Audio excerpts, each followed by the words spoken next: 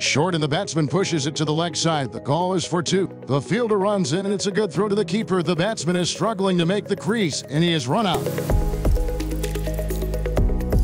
Short and the batsman tries to make room to play it on the offside. He manages to only get an inside edge and chops on back to his stumps. Tries to go down the track. The bowler pulls the length back. The batsman tries to push it to the leg side. Only managed to lob it short fine leg for an easy catch. In the slot, and the batsman smashes that back over the bowler's head for the first maximum of the innings.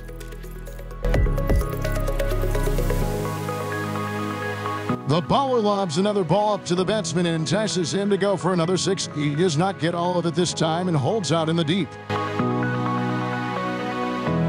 Comes down the track. Messages the flight of the ball and is beaten. The keeper whips the bails off and he is stumped. Flighted again, beaten again. And the batsman has run a long way down the pitch. Another stumping.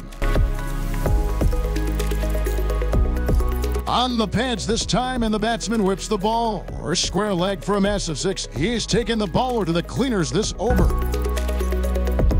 Heave from outside off stump for another boundary. And over this has been 26 runs off it, and United for cricket are firmly in the driver's seat. Finally, some reprieve for the bowling team doesn't pick the pace of the ball. He's through his shot and sees his wickets. It's uprooted